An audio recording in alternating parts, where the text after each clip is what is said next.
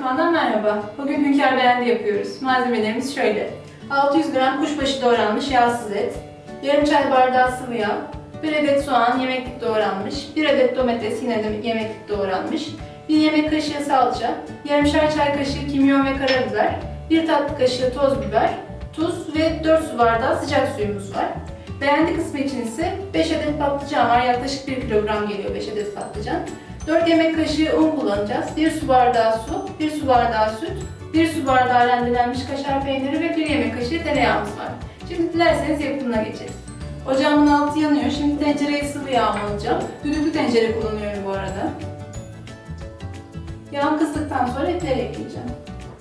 Yağımız kızdı. Şimdi içerisine etleri ekliyoruz.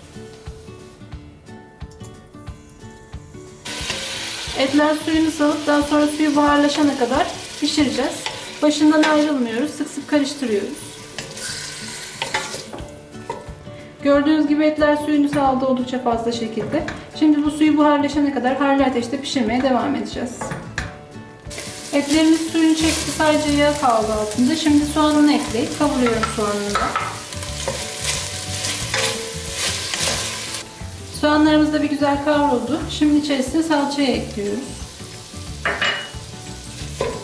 Salçanın da kavrulmuş kokusunu duyana kadar kavuracağız. Salçamız da mis gibi kokmaya başladı. Şimdi içerisine toz biberi ekliyorum. Sadece bir karıştırmam yeterli. Domatesi de ekledim. Domatesler pişene kadar yine aynı şekilde kavurmaya devam ediyorum. Domateslerimiz de güzelce pişti. Şimdi kimyon ve karabiberimi ve tuzun yarısını ekliyorum. Yarısını da beğendiği için kullanacağım çünkü. Şöyle bir karıştırdım. Kimyon kendini şimdiden belli etmeye başladı. Nefis koktu. Şimdi suyunu ekleyeceğim.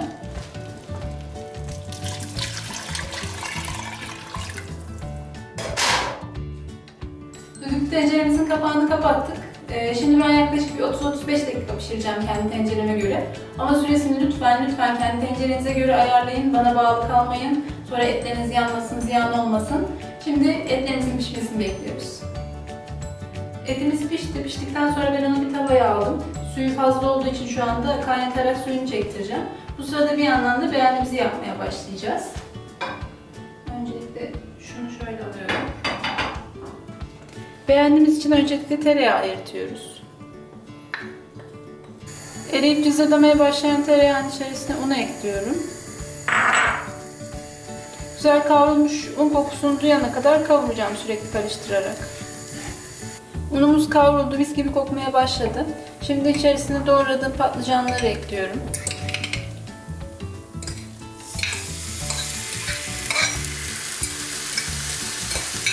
Patlıcanları unla birlikte iyice karıştırdıktan sonra şimdi içerisine suyunu ve sütünü ekleyeceğim.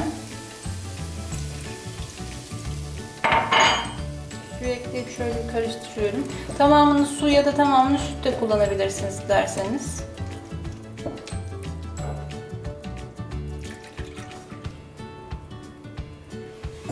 Kıvamı koyulaştı şu anda beğendiğimizin.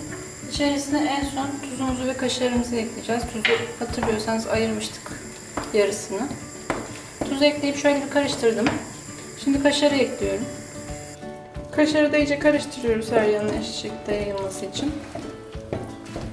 Etimiz hazır. Suyunu istediğim kıvamda çektirdim. Ben çok hafif böyle bir e, sosunun kalmasını istediğim için bu kıvamda bıraktım. Ama siz isterseniz daha sulu ya da daha e, suyunu tamamen çektirip sadece et bırakabilirsiniz. Diğer yanda beğendiğimiz de hazır gördüğünüz gibi tamamen e, kaşarıyla karıştı. Tam istediğimiz kıvamda oldu. Şimdi servis tabağına alacağız.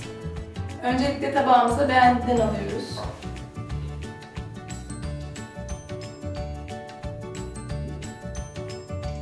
Şimdi üzerine etini koyacağım. Hünkar beğendiniz hazır. Afiyet olsun. Yeni tariflerden haberdar olmak için lütfen kanalıma abone olmayı unutmayın. Yeni tariflerde görüşmek üzere.